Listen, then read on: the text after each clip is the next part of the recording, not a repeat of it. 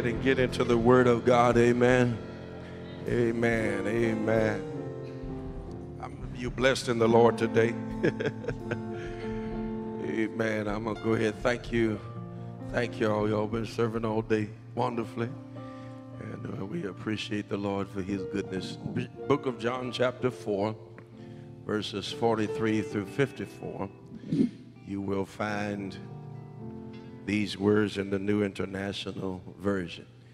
Amen. Thank God for this army of children and youth ushers in the house of God. Amen. I've had wonderful meetings this week with almost all the ministries the men's ministry, youth ministry, uh, security, uh, dance ministry. So, second Sunday in October, you begin to see our youth and children's dance ministries and worship. Amen. That's an amen moment. That's an amen moment. Okay. Amen. Somebody said, I never, I never seen that before. Amen. John chapter 4, verse 43 through 54. And um, it is my custom on Wednesday nights to announce at the close of Bible study the preachment for Sunday. And so I had already released on Wednesday night. We had about 65 people in Bible study here. Amen. Had 22 up at Union Bethel North on Tuesday night. And so we're excited about the people who study the Word of God. And so somebody came and said, Rev, you didn't announce your sermon title. I think it was Brother Crump. Well, somebody uh, said to me, You didn't announce the sermon title. So I was like, and before I could realize it, it came out of the, my mouth just at the right time.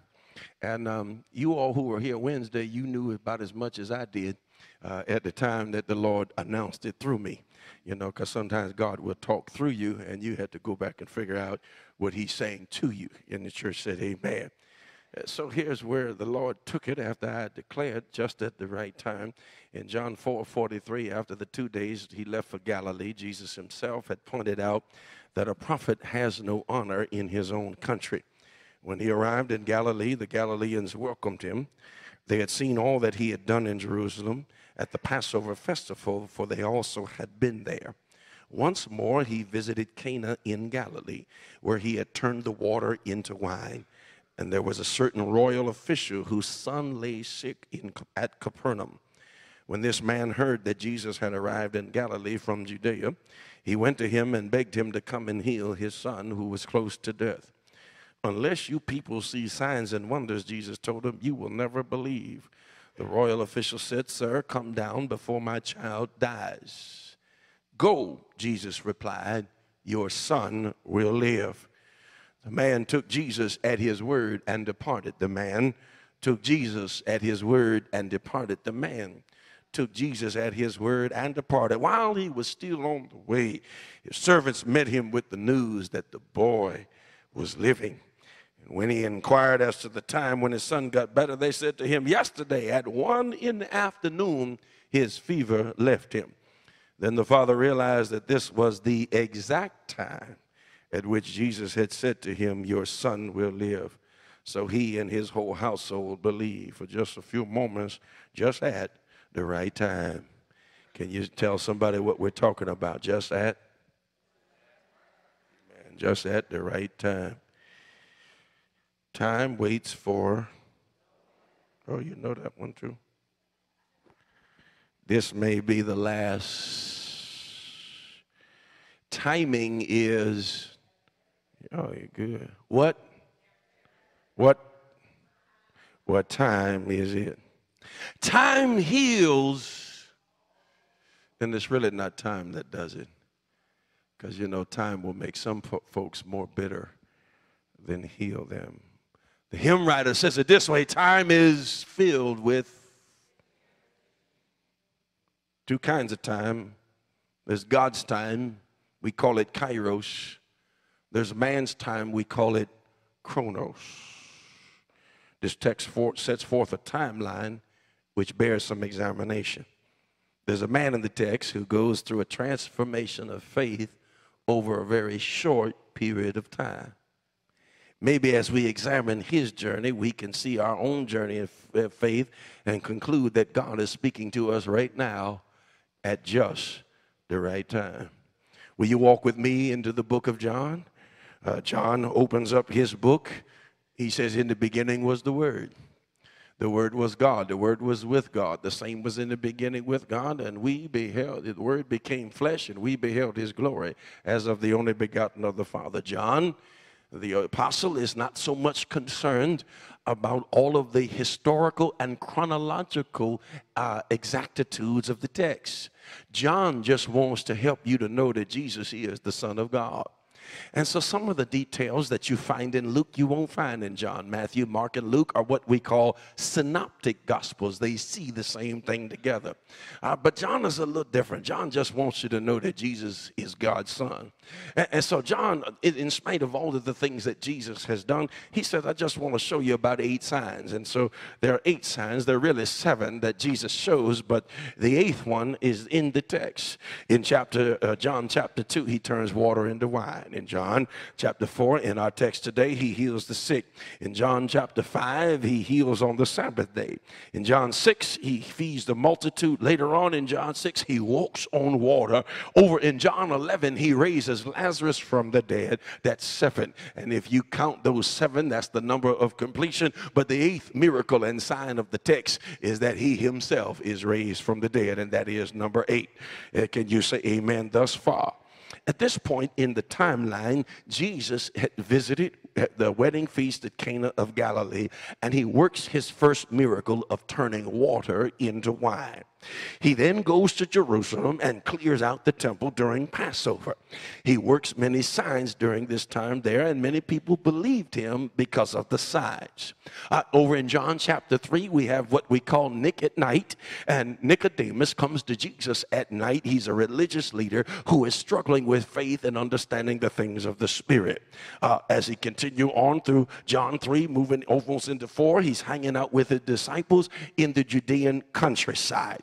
When the religious folks discover the success of his ministry, he leaves Judea and returns to Galilee.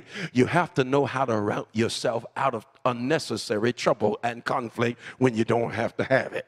Uh, to get to Galilee, this is the part that I like. To get to Galilee, he has to go through Samaria.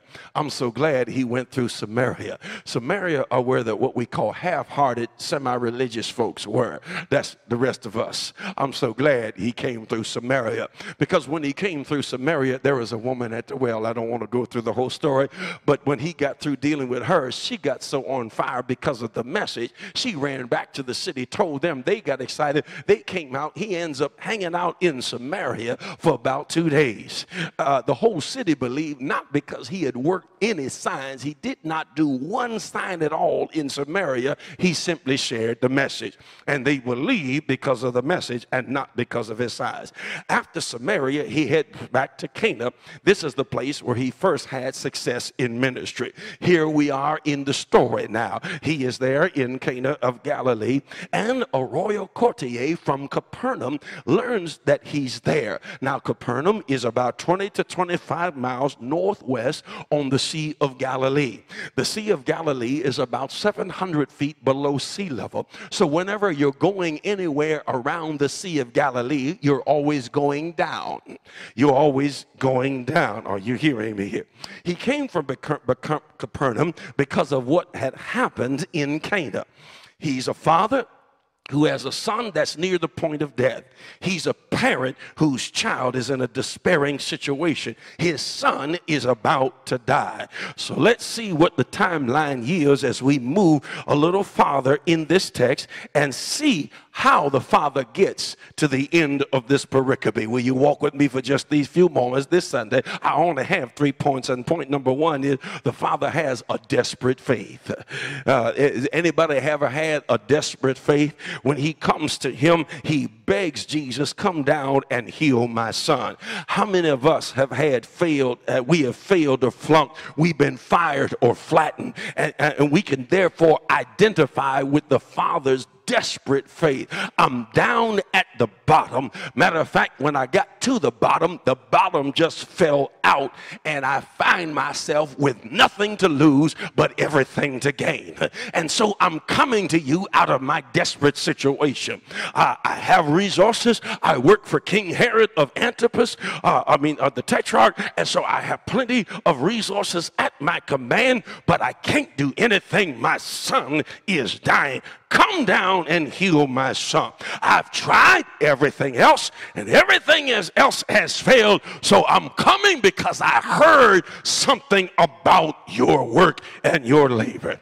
Uh, there's a desperate faith. Have any of us ever been in that desperate situation where we are desperate to get something from God? We are desperate. We have gone hither, thither. We've gone to and fro. We've tried everything else. No remedy works, no remedy, no result. Nothing is cooling our parchment, nothing is easing our situation. And so we come to Jesus with this, this desperation faith, begging Jesus to do what needs to be done. I'm so glad Jesus doesn't hang up on us, but he allows us to come like we are. Anybody with me? Just like he moves with this father, he wants him to come like with the faith that you have, but then trust me to move you from desperate faith to the next level of faith in your journey. You're coming to me because of the signs you heard about, but I don't want you to get enamored with the signs. I want you to know me. Yeah, which moves me to my second point. He moves from a desperate faith to number two, a deliberate faith.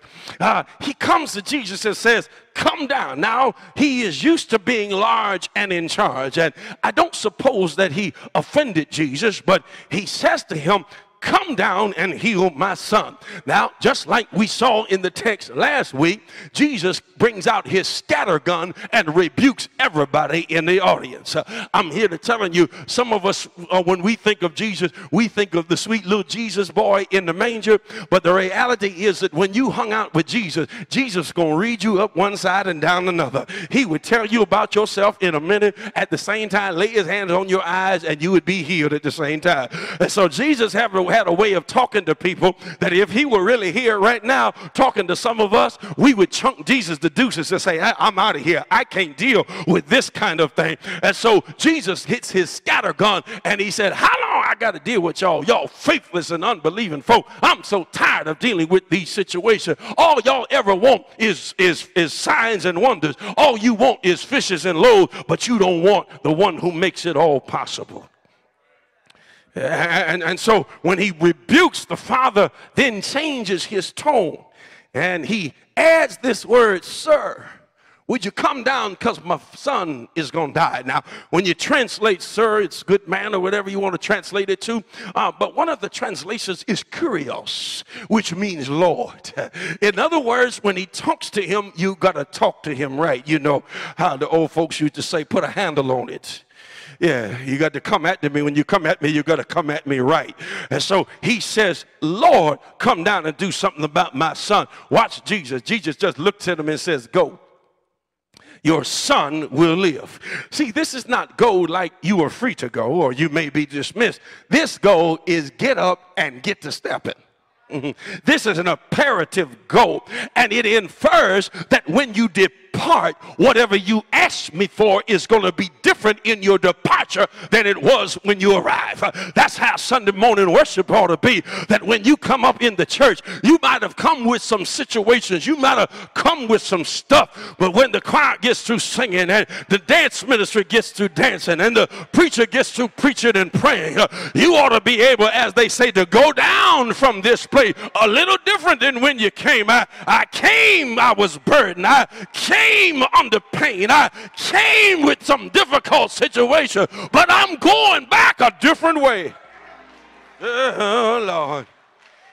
It's the same kind of go that happened when 10 men had leprosy. They came to Jesus. Jesus looked them up and down and said, Just go. Go show yourself to the priest. And the Bible says that as they went, they were healed. It's that same kind of go. And so the Bible says in that 50th verse, it said, The man took Jesus at his word and departed. He hadn't seen a sign, he hadn't heard a message. He just took Jesus at his word and depart. He hadn't been to Bible study, hadn't been to prayer meeting, hadn't been to men's fellowship. He just took Jesus at his word and departed. He left and trusted his word and not just his wonders. You see, wonders produce all, but word produces faith. Uh, Jesus said, Go, I'm going. He said, My son's going to live. I'm on my way. In a moment of time, his faith has moved from desperate to deliberate. He simply takes Jesus at his word, which is what the hymn writer says, tis so sweet to trust in Jesus. Just to take him at his word, just to rest upon his promise, and to know, thus saith the Lord, Jesus, Jesus, how I love him, how I trust him, how I proved him more and more. Jesus, Jesus, precious Jesus, oh, for grace to trust him more Called my wife yesterday. She's home. They're home right now having a packing party, and my plane leaves later this afternoon. I'm praying that all the stuff will be packed when I get there, and I just now don't y'all tell her this next week. um, that I can just, you know, come in as the chief and everything will be done. Uh, but brothers, you know, it, it really ain't like that. We, yeah, we, we really don't run stuff. We, we, we say we do, but we really don't.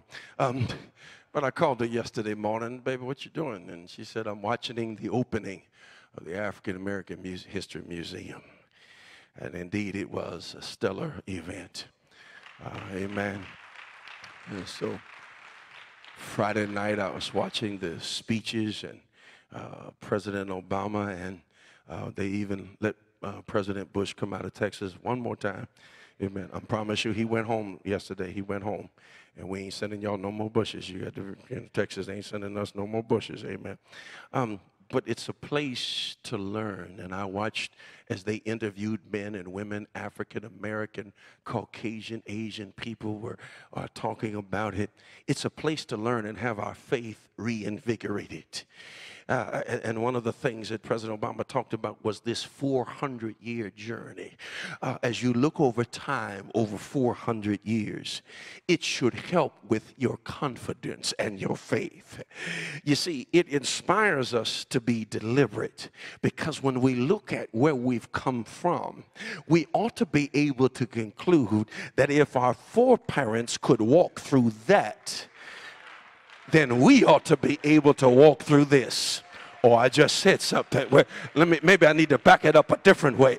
If you can look at the rock upon which slaves were sold, and be able to walk out into the parking lot and get in your car this afternoon. It ought to encourage you because if they can walk through that, certainly, I, is there anybody with me here? Certainly I can walk through this. Uh, and, and, and, and, and if that is the case, then I can join the ancestors in the prayer. It's a song, but it really is a prayer. Guide me, O thou, great Jehovah. I'm a pilgrim through this barren land. Where, where, where's your barren land? It's in Charlotte, North Carolina. It's, it's in Chicago, Illinois. It's, it's in Brooklyn, New York. God, it's in Baltimore. Where is your barren land? I am weak, but thou art mighty. And if you did it for them, you can do it for me. Oh, hold me, hold me, hold me, hold me with your powerful hand. Uh, we move from a desperate faith to a deliberate faith. And finally, we get to the third point in 14 minutes and 26 seconds. It is a developed faith. When you move in deliberate faith, your faith grows as you move in obedience and submission to the word and instruction of the Lord. Let me say that once again. When you move in a deliberate faith, your faith grows as you move. so you can sit as a bump on the log saying, if I had the faith, God is looking at you and say, fool, if you had the movement, your faith would grow. Get off the log. Are you see? You're trying to get, put the cart before the horse. You want to see and then believe, and God is saying, "No, you need to believe and then you'll see." Uh, are you hearing me up in here? Uh, and so the Bible says in verse 51 that while he was still on the way, he was walking in obedience to what he had heard. He was walking because God said, Go, your son will live. As he was on the way, his servants met him with the news that your boy is alive, he is living. Well, let's unpack the on the way on the way in this man of developed faith. See, because of the distance and lateness of the day, it is about one o'clock based on the text. It is believed that possibly most of the writers believe that the father had to stay somewhere overnight. He had to be somewhere overnight because, you know, he couldn't just, you know, you know, get, get up in his Mercedes and head down 301, hook over on 5 and be up in Upper Marlboro. Just wasn't going to happen that way. Uh, he's about 28 miles from home. Now, if he has a horse, his servants don't, and he is a servant of the king Herod. Uh, so if he's walking, he probably checked in. Maybe he was on his way up to uh, uh um, uh, Virginia, uh, or maybe he'd been on his way up to Philadelphia. So he said, I'm going to spend the night in National Harbor, and then I'll be on my way in the morning. Uh, if that is the thought, as most of the writers look at the thought, uh, it would explain a couple things. But let's take the fact or the reality or the approach that the man did stay overnight. There's some things that happen in night that don't happen in the day. First of all, he's going to bed. He got a word from God that says, Go. The word says, Go, your son shall live. Now his faith is moved from being desperate uh, to being what? deliberate he is going, but he needs to stop and rest in the nighttime. Some things come to test us in the night seasons of our life. Death walks in the night. Fear is magnified in the night. Anxiety is uh, is heightened in the night. Uh, that's what we're experiencing in Charlotte, North Carolina, with a nighttime curfew uh, the, so to quell the violence in the streets at the nighttime. In the night season, though, some other things happen. See, while you're sleeping, God is working. And what you have prayed while you went to sleep, God's already got it in motion. That's why the psalmist would stop and say, Yeah, weeping may endure for a night, but joy is coming in the morning. And I hear the whiners talking about, I, looks like I can feel the breaking of day. Is there anybody in here who can realize that your day, your night is not going to last, and your tomorrow is going to be better than your today? Can you imagine the sense of anxiety that is now morphed into anticipation when he gets up that next morning? Maybe he reads his newspaper, goes down in the hotel lobby, has his continental breakfast, go ahead and does his early checkout, and he's on his way back home. But before he can get out on his way, his servants are meeting him with the news that his son is already alive. They moved him from intensive care to a regular room. They up upgraded him from critical to good, and he'll be checked out as soon as the doctor makes his next round. Is there anybody up in here that knows that God will answer in the middle of the night and then manifest his glory early in the morning?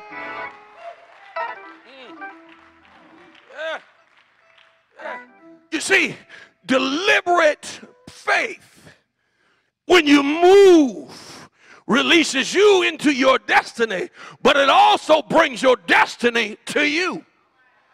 Whatever you prayed for last night, you on your way to it. But I got some news. God was working on it while you were asleep, and it's already on its way to you. How do you know? Just go to work tomorrow morning and see what God has already done. Uh, get back to your house this afternoon and see what God has already done. Look at your life situation and see what God has already done. Well, let me close. In just a relative short time, the Father's encounter with Jesus has moved his faith from desperate to delivered to deliberate to develop faith. And then I, I got bothered by verse 52. Uh, uh, because the thing I haven't missed, seen in the text is there ain't no hallelujah, praise God, bless Jesus. Huh? Ain't no Ain't no shouting going on. He ain't speaking in tongues. He's not rolling under proof. He's not running, he's not running around the church. Huh? There's been no thank you, Jesus. There's no thank you, Jesus in the text. Do you see it there? I, I don't see I didn't see it. And so when they brought him the news that his son was alive, there was no thank God. There was, okay, but what time? Did that occur? Uh, he, he was probably a lower left quadrant personality. Uh, but what time did that occur? And his servant said, it was about one o'clock yesterday afternoon that the fever left him. Yeah. But then start, something started happening in his faithometer. Something started going on inside of him. And he said, wait a minute, what time you said it was? One o'clock? That was the same time yesterday that I was standing in the presence of Jesus. And he told me, go, because your son's going to live. Ah, something, you missed your shout right then. You, uh, I'm getting so excited, my afro's already growing back right now. what, what, but why the notation of time is so important? How many of you ever called a customer service company when you've had a complaint or something that you need? And after a while, you train that when you get them on the line, you won't ask, now, what's your name? And how do you spell your name? Uh, what's your extension? What's your direct number? Or what's your employee ID? They'll give you all those. Then on your notes, you write the date and the time that you talk to them. And then you also write down the date and time because you want to validate the promise.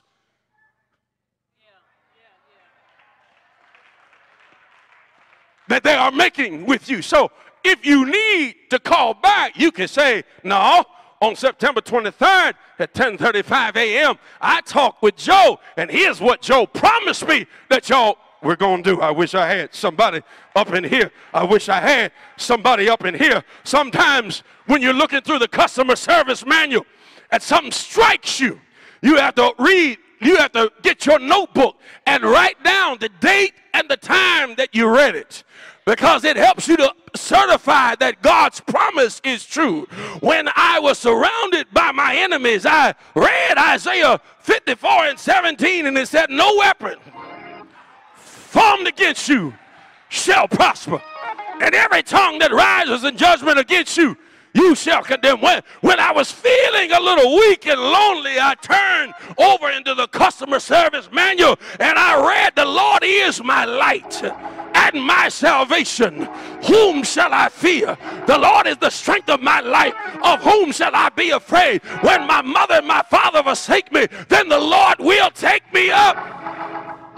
Uh, uh, I read it in the manual, and so I wrote it down and I timed and dated it. That when I was a little lonely, I turned over and I read, Lo, I am with you always, even until the end of the earth. Mm. Eh. When you talk to the Lord and you read His Word, it's all right to note the date and time. While God operates in kairos, the Lord understands that we operate in chronos. So we like to develop a chronology of the things that God has said, which helps us to hold on to his promises. That's why we got to remember just fourth Sunday last month, God said, just ask. Ask and you shall receive. Seek and you shall find. Knock and the door shall be open. You have to remember that God said on first Sunday, when God answers, uh, that, that, that even last Sunday before last, somebody needed another touch. Uh, and last Sunday, I need some help. Uh, so when God sends his word, you ought to time it and date it that God is speaking just at the right time. Oh, Lord. Now is when I need. I need to hear a word. I need a revelation. I need him to speak. I need him to heal. I need deliverance. I need victory. I need joy. I need a blessing. I need his vision. I need his purpose. I need his power. I need his grace. I need his mercy. Lord, I need Lord, I need. Lord, I need. I need. I need. I need. I need. I need him. I need him now. I need. I need him now. I need. Walk with me. Talk with me. Tell me that I am your own and the joy and the joy.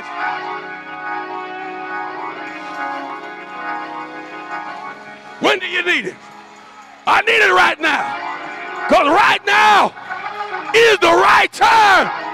Hallelujah. Hallelujah. Stand on your feet all over the sanctuary. I need mm, just at the right time. Mm, just at the right time. Just at the right time. Yeah. My time for miracle. My time for healing. My time for deliverance. I need it right now. Need it right now. There may be somebody here today, and maybe you still didn't get everything God has for you.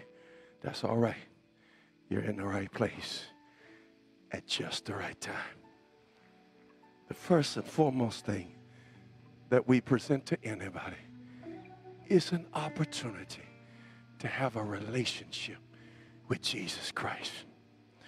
Now, it's good if your name is on this church roll or other church roll somewhere. Maybe you're visiting here today. That's fine. That's wonderful. But you need to know Jesus. So watch this. You, you may already be a member of a church, but you don't know Jesus. And so the Holy Spirit speaking to your heart to get to know Jesus. Watch this. Watch this. Most important thing you can have when you come in the worship service and the worship of God is going on is to be given an opportunity to enter into relationship with Christ. Guess what? We don't want you to die and go to hell. We want you to know Jesus. Not because you're afraid of eternal life uh, or eternal damnation. Eh, when you walk in Christ, you don't have to live, live in fear on what's on the other side. The challenges you're going to face are on this side. So Jesus said, I come that you might have life and that more abundant. Ah. The believer is not exempt from what we go through in this world. The difference is who you got with you when you go through. Anybody know what I'm talking about? Yeah. We might have to go to the hospital. We might hear the physician say, This is the case or these are the facts. Yeah, th- those are the facts. But here, here's the truth He was wounded for my transgressions, He was bruised for my iniquities. Chastisement of my peace is on Him, and by His stripes, I'm healed. That's the difference. That's the difference. Oh, I've been to the cemetery too. The difference is when you when you have to say goodbye to mama and daddy or loved ones. The difference is, it's not the undertaker that walks with you.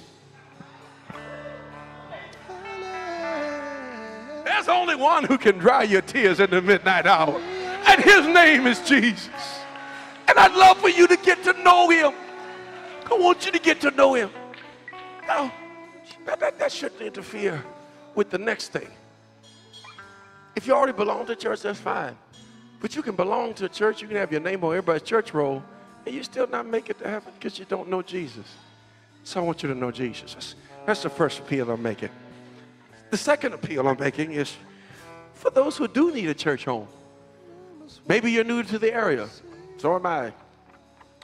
I said goodbye to the hotel desk this morning. I said, I'm through. I see y'all. We trying to get settled in our place next week. Jesus. Amen. So I'm new to the area too. So we can come on and get lost together, 301 and 5, and you know, and Brandywine goes to Floral Park and hooks all the way around, and next thing you know, you're in Fort Washington. Sometimes I don't turn on the GPS, I just drive. it's all right. So guess what? We can we can wander together. And I'd love to be your pastor. Love to help you show the way to show you the way to Jesus. I'm still an usher. I started at the front door when I was a child. I'm still an usher. I usher from the pulpit. My job is to usher you into the presence of Jesus. And to help you to stay there.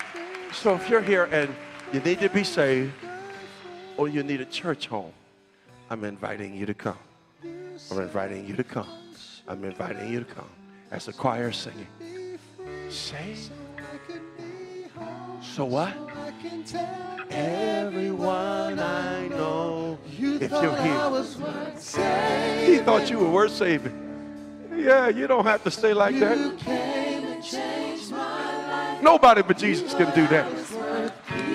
Nobody but Jesus can do that. Nobody but Jesus can do it.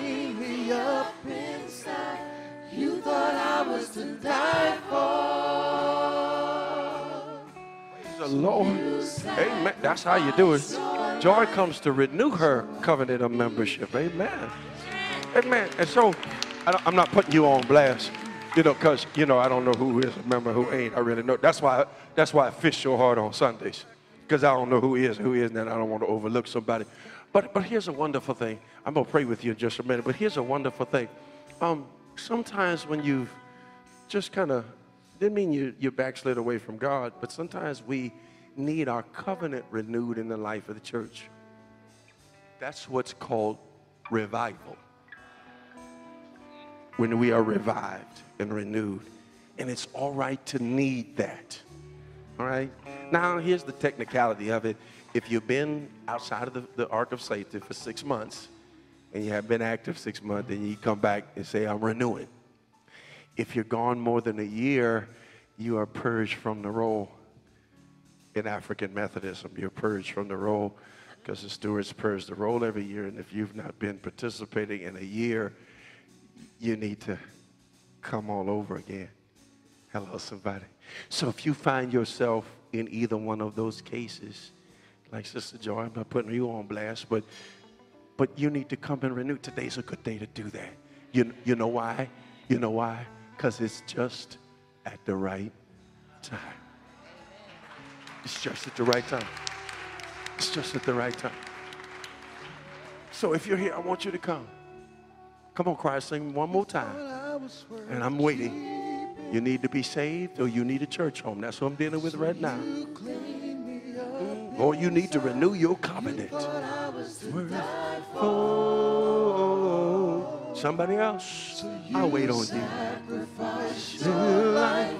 so I can be free, so I could be home, so I can tell everyone I know. You thought I was Come worth on. saving. I'm waiting. I'm waiting. So you came and changed my life. You thought I was worth keeping. So you cleaned me up inside. That's all right. All right. Amen. Remember, there's a good Sunday to do that. Just at the right time. So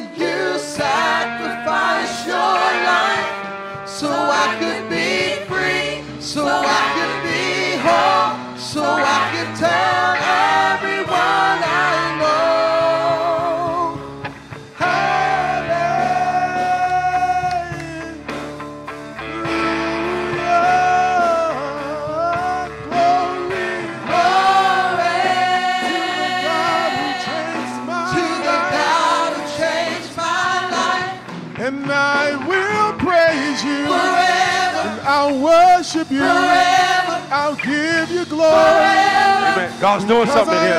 Saints ought to be praying right now. God's doing something up in here.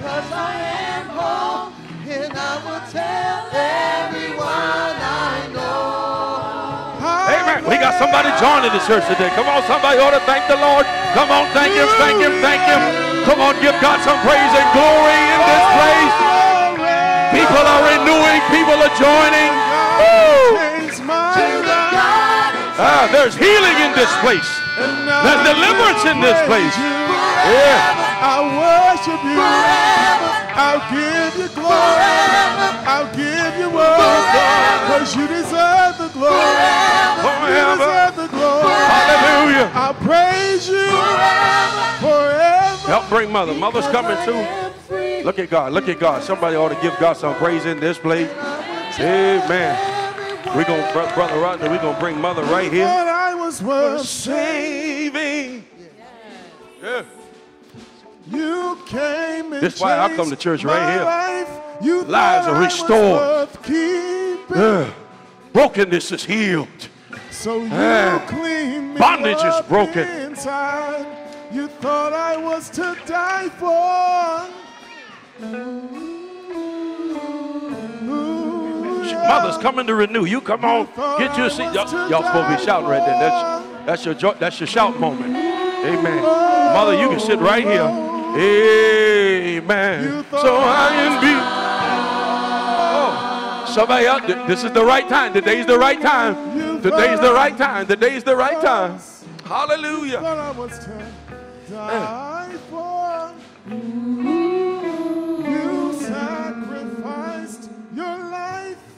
So I can- be free.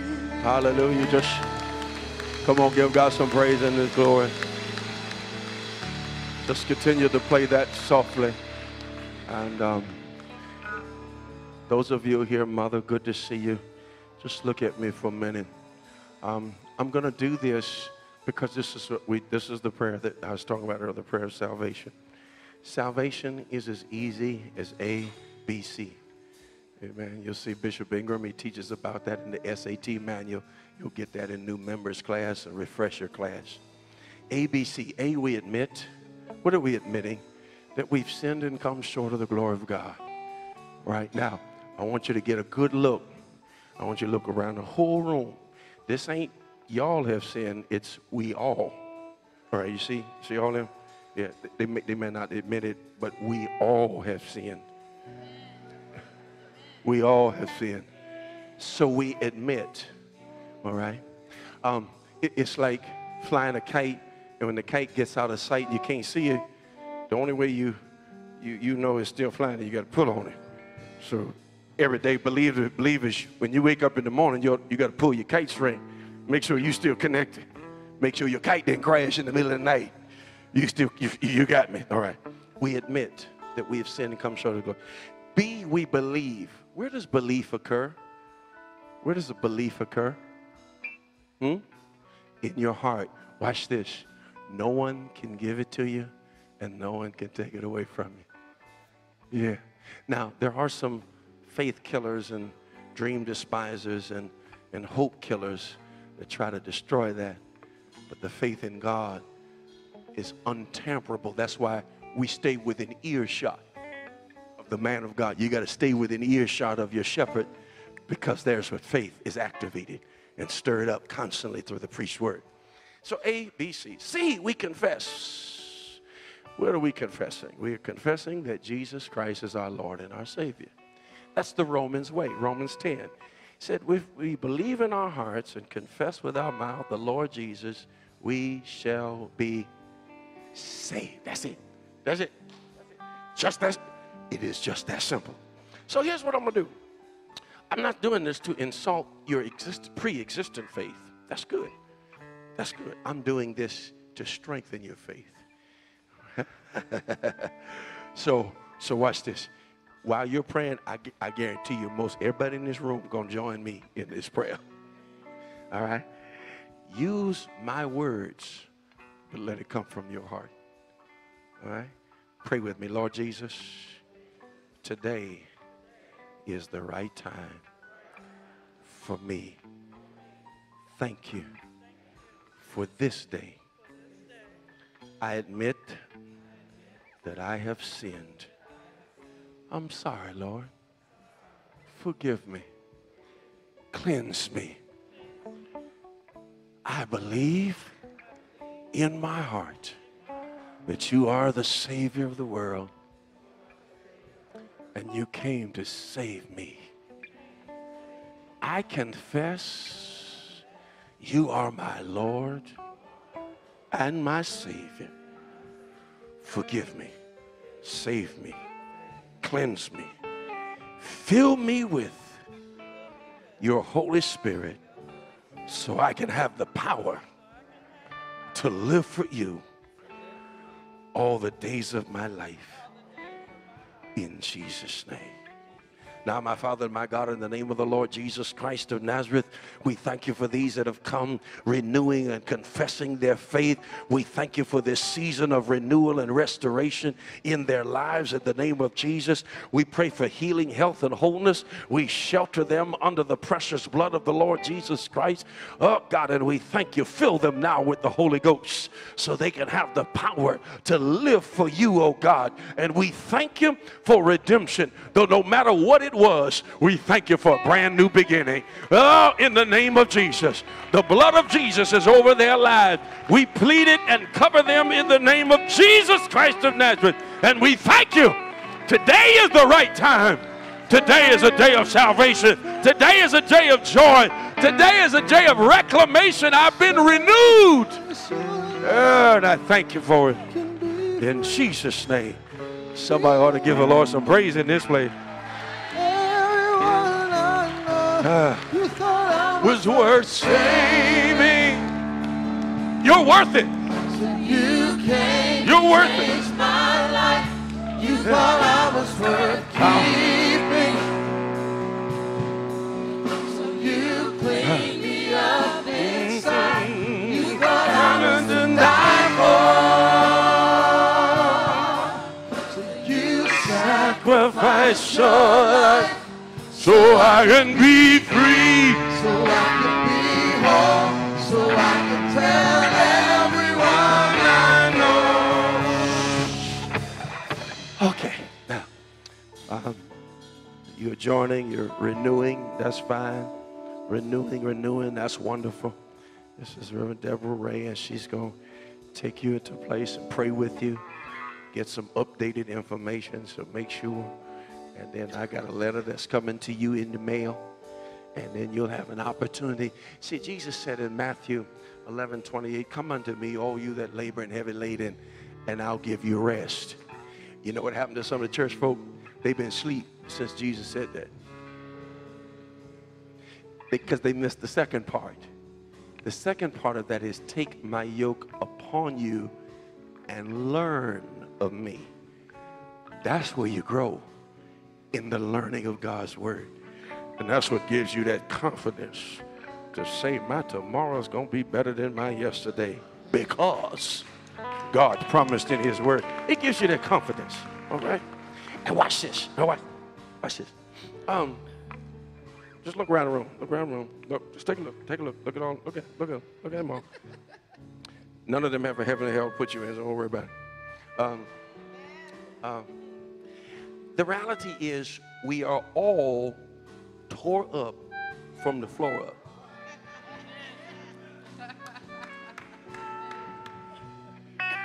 And I'm taking time to, to, do this because sometimes, you know, some of the most difficult folk to deal with sometimes are folk who, who say they change. We going through changes. You're supposed to be like the wind, being able to be blown by the Spirit. The people talk about they change are the ones who don't want to change. So this is your time to allow God to transform your life. No matter where you were, mother, that got you here at this moment, this is the right time for you. Amen. So I want you to go with Reverend Deborah. She's going to get some information from you and make sure you get letters and make sure we're in touch and all that, renewing and all of that kind of good stuff, okay? All right? Come on, give the Lord some praise for these that come. We want to make sure. Hmm? Okay.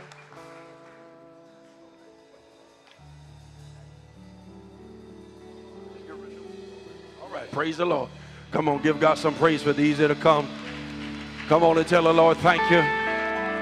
Thank God for souls being saved, people joining the church. Amen. Now, let's receive our offering, and then I've got I got a plane to catch in a little bit, but let's receive our tithes and offerings this morning.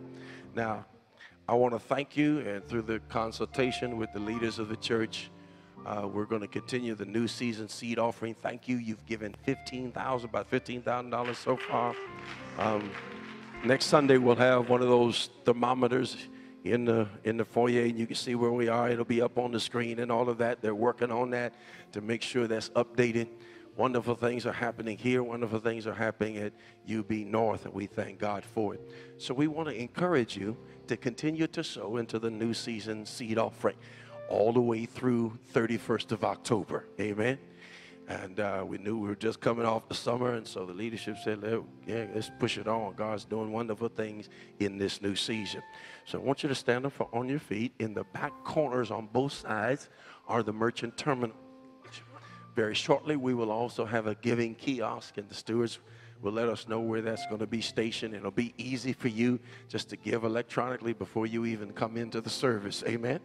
Uh, and we're making, uh, working on processes to make that uh, even more uh, uh, easy for you to do that. How many of you all received a letter yesterday from me? Amen. Some people did. Okay, some people you already got it in the mail. Amen. All right. So some you'll get it tomorrow for sure. But it's my first congregational letter to the congregation. Pray that you would read that and study uh, those things that we have set forth, the things that God has called us to to worship, to pray, to study, and to sow. That's what God is calling for in this new season. Won't you stand upon your feet if you've already given online? Uh, that's fine. Just hold up your hand in the presence of Lord. You gave it the early service, you gave it north. Father, thank you for seed to sow. Bless the seed and the sower, the gift and the giver. In Jesus' holy name we pray. Amen. The ushers are going to direct you down the center. And if you have an electronic gift through merchant uh, terminal on both sides in the back, you can go straight there with your debit card right now in Jesus' name.